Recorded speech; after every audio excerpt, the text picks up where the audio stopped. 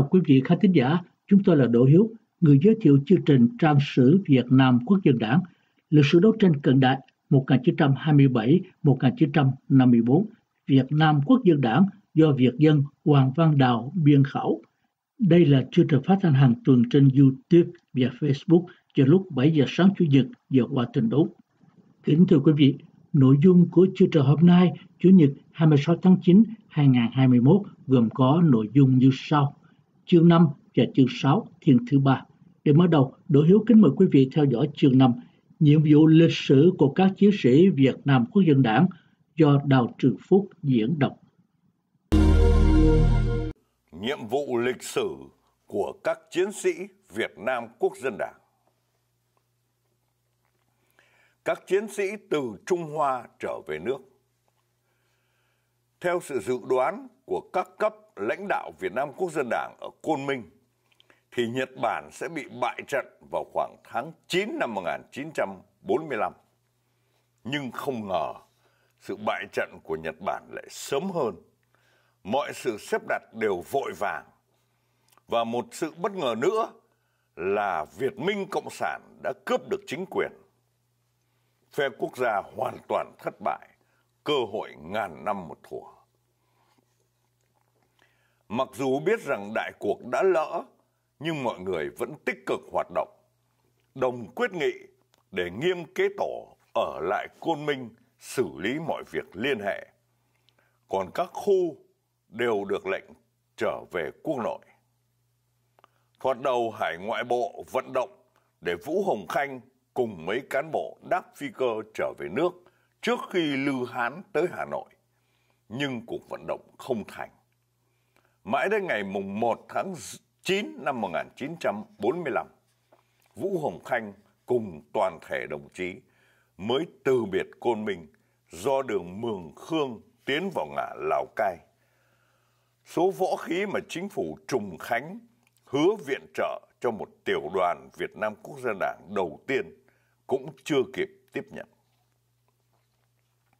Thời gian ấy, quân đội Lư Hán rầm rộ tiến vào Bắc Việt. Các báo chí ở Côn Minh đều loan tin Đại tướng Lư Hán định tổ chức quân chính phủ tại Việt Nam và hiện đương tìm người đảm nhiệm các cơ quan hành chính. Xét thấy rất có hại cho tiền đồ Tổ quốc. Đại diện Hải ngoại bộ Việt Nam Quốc dân Đảng ở Côn Minh liền lập một bản kiến nghị gửi đến Trung ương Đảng Bộ Trung Quốc Quốc dân Đảng nhờ chuyển đến thống chế tưởng giới thạnh phản kháng việc lập quân chính phủ tại Việt Nam. Bởi vậy, Lư Hán không thực hiện được ý định ấy. Ngày 15 tháng 9, Vũ Hồng Khanh cùng các đồng chí của ông mới về tới thị trấn Lào Cai. Lại vấp phải tình hình tỉnh Lào Cai lúc ấy từ hành chính quân sự đều đã ở trong tay Việt Minh Cộng sản. Tỉnh trưởng là Đàm Quang Vinh thấy các chiến sĩ Việt Nam Quốc dân Đảng về tới Lào Cai, lo cho thân thế mình không có gì bảo đảm, liền bí mật đem một số vàng đến hối lộ Lý Du Sinh để cầu sự che chở. Lý Du Sinh nguyên là giới nghiêm tư lệnh quân đội Trung Hoa, được Đại tướng Lư Hán phái đến Lào Cai trước để giữ an ninh và liên lạc với bộ đội Trung Hoa sắp tới. Lý Du Sinh lại vốn là kẻ tham ô, không kể gì đến danh nghĩa. Và bởi món quà quá hậu, nên họ Lý hứa sẽ dùng đủ mọi cách ngăn ngừa mọi hoạt động của Việt Nam Quốc dân Đảng. Để tránh sự đổ máu vô ích, Vũ Hồng Khanh phái Triệu Việt Hưng, hướng dẫn Vũ Việt Hùng, Trần Viên, Hoàng Hiền, Nguyễn Văn Mộng và Nguyễn Bá Thành vào Sapa, dùng thủ đoạn chính trị đoạt chính quyền để gây cơ sở phát động. Nhận thấy rõ sự hoạt động có phương pháp của Việt Nam Quốc dân Đảng có cơ nguy hại cho mình, nên Đàm Quang Vinh tìm đủ hết lời lẽ, xuyên tạc và đem thêm vàng, khẩn cầu tư lệnh Lý Du Sinh. Do Lý Du Sinh không ngần ngại dùng võ lực áp bức, hạ lệnh cho đại úy Vương Ngọc Tường, đồn trú ở Sapa, bắt Triệu Việt Hưng cùng năm cán bộ Việt Nam Quốc dân Đảng, tống giam. Đồng thời ở Lào Cai cũng mời Vũ Hồng Khanh đến tư lệnh bộ rồi giữ lại luôn. Xét thấy bọn Lý Du Sinh vì lợi riêng mà làm trái luật quốc tế, uy hiếp một cách dã man. Các đảng viên quốc dân đảng ở ngoài liền đánh điện tín kháng nghị với chính phủ Trung ương Trung Hoa. Tổng thống Tường Duyết Hạnh lập tức hạ lệnh cho Lý Du Sinh phải để cho Việt Nam Quốc dân Đảng được tự do hoạt động và cảnh cáo Lý Du Sinh về tội làm việc bất hợp pháp. Ngày 12 tháng 10, Vũ Hồng Khanh cùng 6 cán bộ được Lý Du Sinh trả tự do và lại bắt đầu hoạt động. Vì thời gian cấp bách, Triệu Việt Hưng, Vũ Việt Hùng, Lê Tùng Anh và Trương Nghĩa Sương được cử ở Lào Cai hoạt động. Còn Vũ Hồng Khanh và các đồng chí của ông vội trở về Hà Nội. Hôm ấy là ngày 20 tháng 10 năm 1945, tức là tới sau Lư Hán cách một tháng trời. Trên đường trở về Hà Nội, họ Vũ ghé thăm qua các đồng chí vừa chiếm được hai tỉnh Yên Bái và Vĩnh Yên. Trong khi ấy, ở Hà Nội, Việt Minh Cộng sản giật dây mấy đảng viên của Việt Nam Quốc dân Đảng là Nguyễn Văn Xuân, Bùi Văn Hạnh, Phạm Quang Trúc, Trần Ngọc Tuân tức Trần Quốc Kính, Trần Đức Chính vân vân đứng ra lập Ủy ban vận động cải tổ Việt Nam Quốc dân Đảng do Nghiêm Toản làm chủ tịch. Hoạt động được ít ngày nhưng không thu hút được ai nên tự động giải tán. Ngoại trừ giáo sư Nghiêm Toản còn đều chạy theo phục vụ cho Việt Minh Cộng sản. Về Nguyễn Hải Thần, cụ đã cùng quân đội Trung Hoa trở về nước từ hồi đầu tháng 9, được Việt Nam Đại Việt Quốc xã Đảng tôn lên địa vị lãnh tụ tối cao, thành lập hai trụ sở công khai. Trụ sở thứ nhất là ở đường số 21 đường Quan Thánh, và trụ sở thứ hai ở đường Lò Lợn, Hà Nội. Kéo lá cờ Việt Nam Cách mạng Đồng minh hội. Nhượng Tống Hoàng Phạm Trân được mời làm bí thư. Nguyễn Triệu Luật làm chính trị ủy viên. Tạ Nguyên Hối làm kinh tài ủy viên. Ngày lễ song thập được tổ chức tại nhà hát lớn Hà Nội cụ Nguyễn Hải Thần lên diễn đàn chỉ trích Cộng sản thâm tệ. Tiêu Văn ngồi cạnh, khuyến cáo cụ chỉ nên nói đến cuộc cách mạng tân hợi mà thôi. Cụ Nguyễn Hải Thần liền quay lại mắng thẳng vào mặt Tiêu Văn trước sự hiện diện của quan khách ngoại quốc và đám quần chúng đông đảo làm cho Tiêu Văn mất mặt. Sau cuộc hành lễ, quân đội Việt Minh Cộng sản được phái đến đánh úp trụ sở của Việt Nam Cách mạng Đồng minh hội ở đường Lò Lợn. Kết quả, quân đội của cụ Hồ bị thương mất một số, còn Việt Nam Cách mạng Đồng minh hội bị thương chỉ có một chiến sĩ. Còn trụ sở đường Quan Thánh thì một đạo quân của Hồ Chí Minh tiến đến vườn hoa hàng đậu, bị quân đội Trung Hoa chặn lại bắt quay trở về vì họ đã nghe thấy tiếng súng nổ ở phía lò lợn. Trung ương Quốc dân Đảng thực thi việc thống nhất ba đảng cách mạng là Việt Nam Quốc dân Đảng, Đại Việt Quốc dân Đảng và Đại Việt Dân Chính Đảng. Chiếu quyết nghị ở Trùng Khánh hồi tháng 5 năm 1945, Trung ương Đảng Bộ Quốc dân Đảng đã được công bố thành lập. Trụ sở công khai đặt tại trường tiểu học Đỗ Hữu Vị, Hà Nội từ ngày 15 tháng 12 năm 1945. Đảng kỳ vẫn là lá cờ sao trắng. Đảng ca là bài Việt Nam Minh Châu Trời Đông. Trung ương Đảng Bộ được tổ chức thành hai bộ phận, bí mật và công khai. Thứ nhất là tối cao bí mật chỉ huy bộ, gồm Trương Tử Anh, Nguyễn Tiến Hỷ, Vũ Hồng Khanh, Nghiêm Kế Tổ và Nguyễn Tường Tam. Thứ hai là Chủ tịch đoàn công khai. Chủ tịch là Trương Tử Anh, Đại Việt Quốc dân Đảng. Bí thư trưởng là Vũ Hồng Khanh, Việt Nam Quốc dân Đảng. Ủy viên là Xuân Tùng, Việt Nam Quốc dân Đảng. Nguyễn Tường Long, Đại Việt Dân Chính Đảng. Và Phạm Khải Hoàn, Đại Việt Quốc dân Đảng. Các ủy viên Trung ương gồm có Tổng Thư ký Trung ương Đảng Bộ là Nguyễn Tường Tam, Đại Việt Dân Chính Đảng. Ủy viên gồm Nguyễn Tường Bách, Đại Việt Dân Chính Đảng. Chu Bá Phượng là Việt Nam Quốc dân Đảng. Nguyễn Văn Chấn, Việt Nam Quốc dân Đảng. Vũ Đình Trí, Việt Nam Quốc dân Đảng. Phạm Văn Hẻ, Việt Nam Quốc dân Đảng. Nghiêm Kế Tổ, Việt Nam Quốc dân Đảng. Nguyễn Tiến Hỷ, Đại Việt Quốc dân Đảng và Phạm Ngọc Chi, Đại Việt Quốc dân Đảng. Và sau đấy, một thông tri được gửi khắp chi bộ cũng như các chiến khu ra lệnh chỉ được phép dùng danh từ duy nhất là Quốc dân Đảng.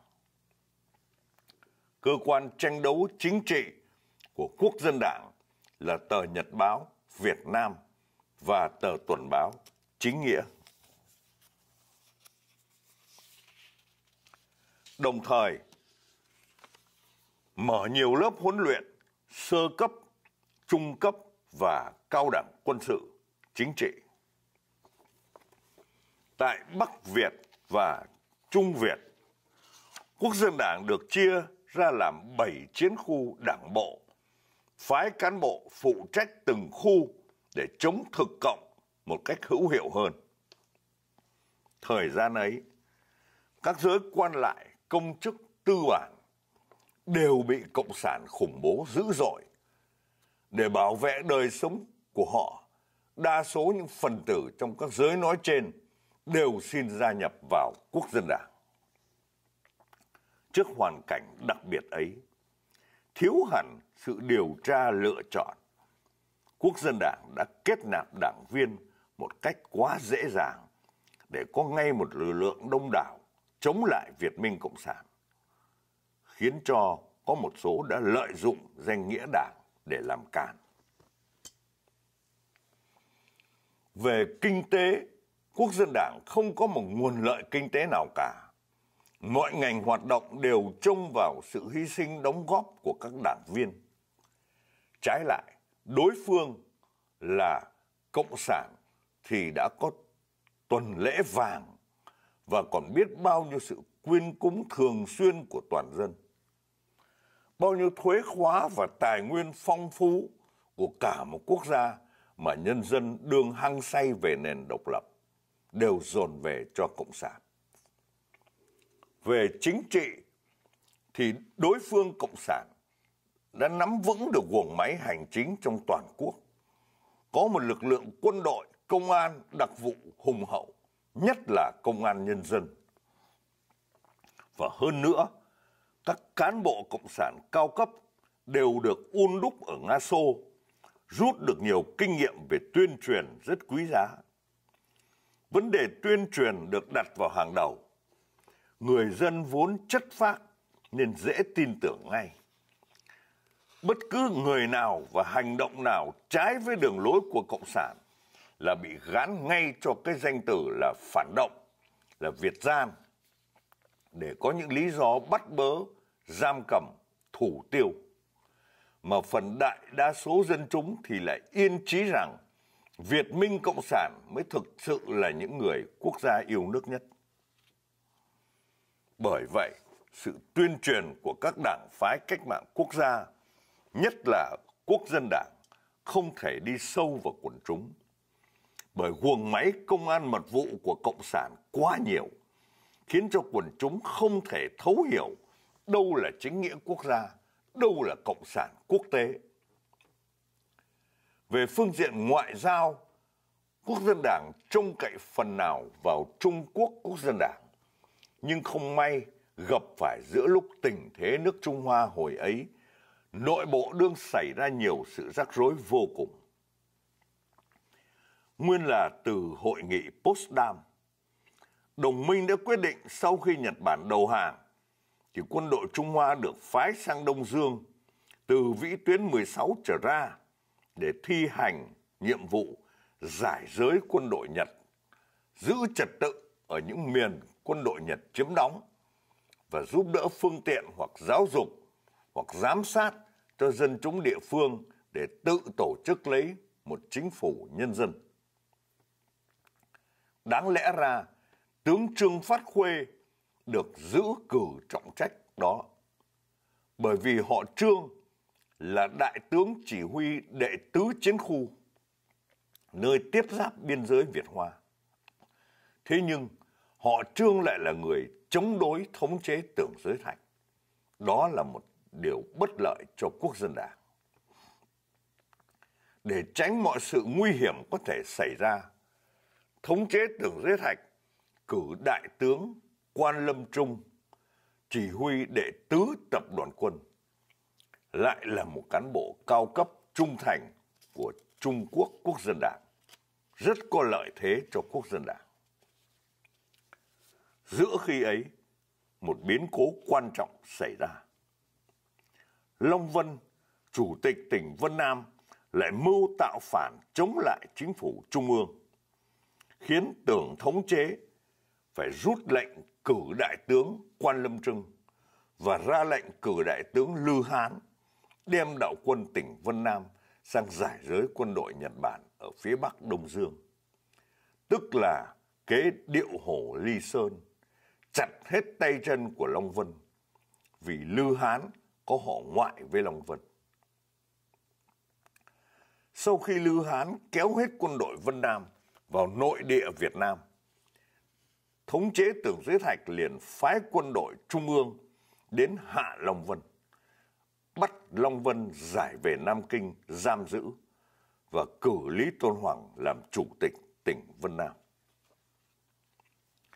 Tới Hà Nội mới được ít ngày thì được tin Long Vân đã bị chính phủ trung ương bắt giam, nên tướng Lư Hán đâm ra chán nản thất vọng chỉ muốn làm xong nhiệm vụ giải giới, vơ vét một số vàng bạc châu báu, rồi mau mau trở về Trung Hoa. Tuy Thiều Bá Sương với danh nghĩa là đại diện chính phủ Trung ương cử sang hiệp trợ giải giới quân đội Nhật Bản, nhưng trong thực tế, Thiều Bá Sương vẫn phải phụ thuộc dưới quyền của đại tướng Lư Hán. Còn Tiêu Văn với danh nghĩa đại diện tướng Trương Phát Khuê sang Việt Nam với nhiệm vụ chính trị viên chỉ đạo thì hiệp trợ cho Việt Nam cách mạng đồng minh hội lập chính phủ. Nói đến Việt Nam cách mạng đồng minh hội thì gồm những thành phần. Thứ nhất là vô đảng phái, thứ hai là Việt Nam Quốc dân đảng, thứ ba là Việt Nam Phục Quốc đồng minh hội, thứ tư là Việt Nam độc lập đồng minh hội, nhưng Tiêu Văn đã bỏ rơi hết, chỉ thiên về túi vàng của Cộng sản Việt Nam mà thôi. Quốc dân đảng trước sau nhận được hai công điện của chính phủ Trung ương Trùng Khánh đánh sang Hà Nội. Báo đến bộ tham mưu của Đại tướng Lư Hán để tiếp nhận số vũ khí mà quân đội Trung Hoa đã giải giới được của quân đội Nhật Bản dọc theo thiết lộ từ Việt Trì đến Lào Cai. Đại diện quốc dân đảng đến giao thiệp, thì bọn tướng lãnh tàu lại đổ lẫn trách nhiệm cho nhau, rồi cuối cùng đâm lánh mặt. Cho mãi tới khi quân đội Trung Hoa sửa soạn rút lui mới phái người đến gặp đại biểu quốc dân đảng, yêu cầu cho người đến tiếp nhận vũ khí. Đến khi mở cửa các kho mà bề ngoài cánh cửa còn niêm phong hẳn hoi, dấu đỏ đóng to bằng cái mẹt, nhưng bên trong chỉ còn toàn là quần, áo, giày, bít tất cũ đã rách nát của quân đội Nhật Bản bỏ lại mà thôi. Sự thật, 80 ngàn khẩu súng gồm đủ các loại đã tước được của quân đội Nhật Bản thì Lư Hán và Bẻ Lũ đã bán hết cho Cộng sản. Lấy hàng chục vali vàng đưa về Côn Minh bằng đường hàng không rồi. Còn một số súng đạn rỉ thì đưa về kho chứa ở Hà Khẩu, mệnh danh là chiến lợi phẩm. Như vậy còn đâu nữa mà giao cho quốc dân đảng. Giữa thời cần phải tranh đấu bằng giải pháp quân sự, mà quốc dân đảng không có một nguồn lợi kinh tế, thiếu súng đạn, thiếu lương thực, quần chúng thì lại bị lũng đoạn ở trong vòng gọng kìm của quân đội và công an cảnh sát Việt Minh Cộng sản. Hỏi làm sao mà tránh sự thất bại, không chóng thì cháy cho được. Mặc dù tinh thần của các chiến sĩ trong hàng ngũ quốc dân đảng rất cao. Tóm lại, quốc dân đảng đã vấp phải mọi sự không thuận tiện một chút nào. Từ thiên thời, địa lợi đến nhân hòa. Nhưng mặc dù đứng trước tình thế bất lợi và nguy hiểm ấy, người chiến sĩ cách mạng quốc dân đảng vẫn cố gắng làm tròn nghĩa vụ của mình đối với quốc gia dân tộc. Tiếp nối chương trình, kính mời quý vị theo dõi chương 6 thiên thứ ba âm mưu thông tính toàn cõi Việt Nam của thực dân Pháp do Thanh Trang trình bày. Âm mưu thôn tính toàn cõi Việt Nam của thực dân Pháp Chiếm xong Nam Việt, Pháp định tiến ra Bắc Việt.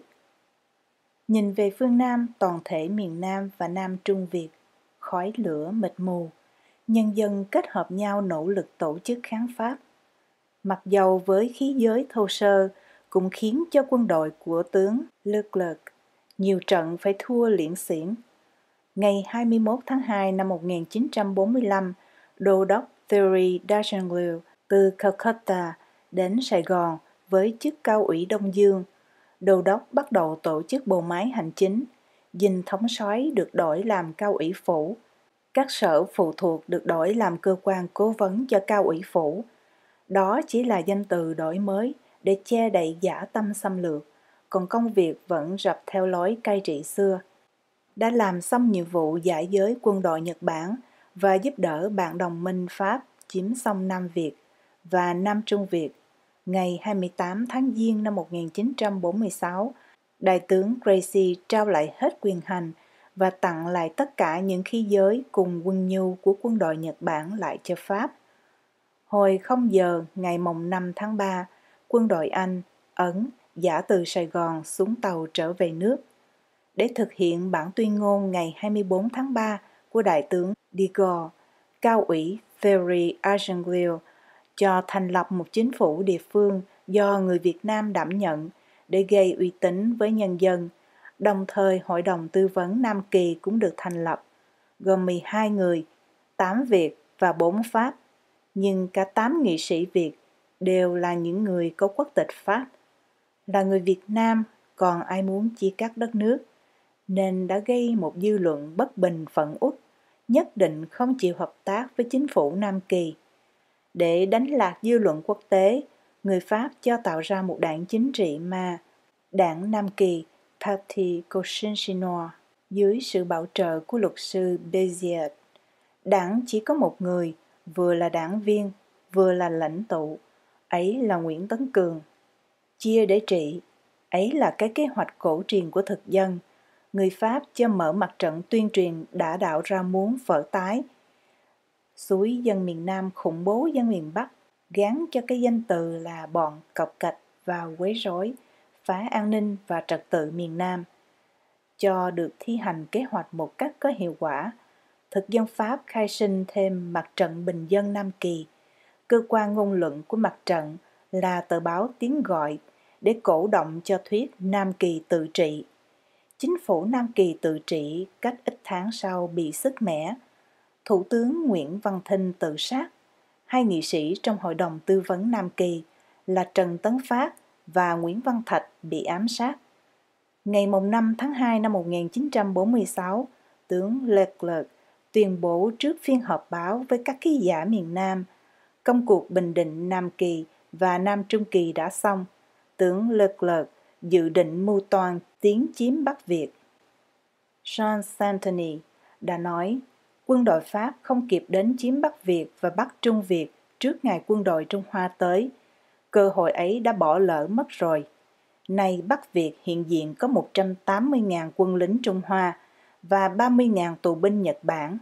Hơn nữa, lại còn phái đoàn Hoa Kỳ nâng đỡ cho chính phủ Hồ Chí Minh.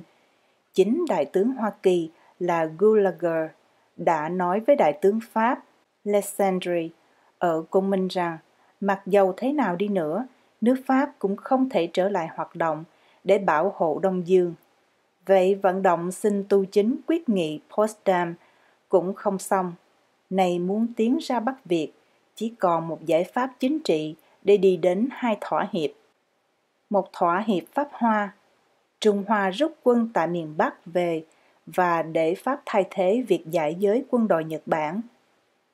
Một thỏa hiệp Pháp Việt, chính phủ Hồ Chí Minh bằng lòng cho Pháp quân trở lại Bắc Việt mà không có sự ngăn trở gì.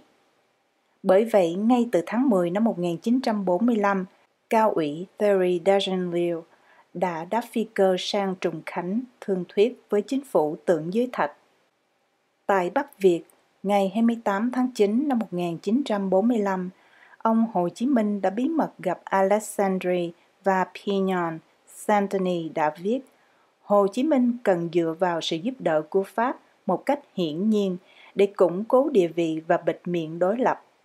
Ngày 15 tháng 10 năm 1945, ông Hồ Chí Minh cũng lại bí mật gặp santini santini đã nhấn mạnh, chúng tôi đã thỏa thuận chung với nhau.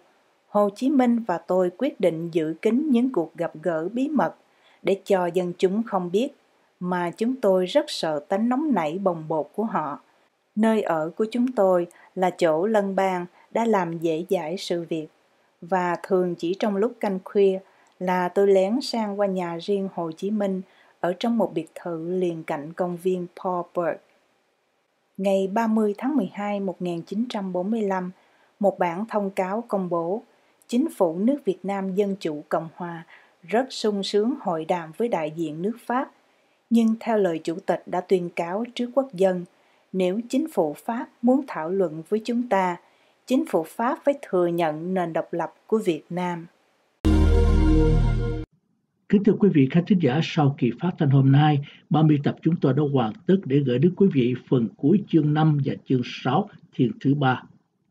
Xin chân thành cảm ơn quý vị, tạm biệt và hẹn gặp lại quý vị khán thính giả vào kỳ tới với chương 7 thiên thứ ba lịch sử đấu tranh cận đại 1927-1954 Việt Nam Quốc dân đảng do Việt dân Hoàng Văn Đào biên khảo. Đội hiếu xin kính chào và cầu chúc quý vị khán thính giả cùng Vũ Khuyến luôn hạnh phúc, may mắn và thành đạt.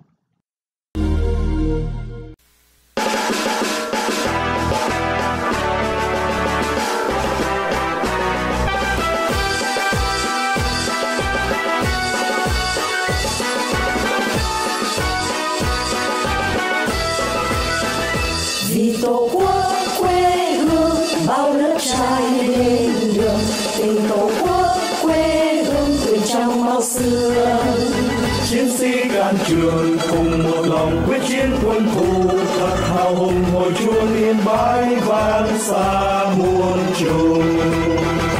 Cờ đại nghĩa tung bay trên núi cao sông dài vì tổ quốc lâm uy tình riêng xa chi khi tiết anh hùng dòng là hồng đứng trước quân thù. Chẳng ngại ngùng ngày tan yên bái nước non vì hùng chết vì tổ quốc cái chết vinh quang lòng ta sung sướng chi ta nhẹ nhàng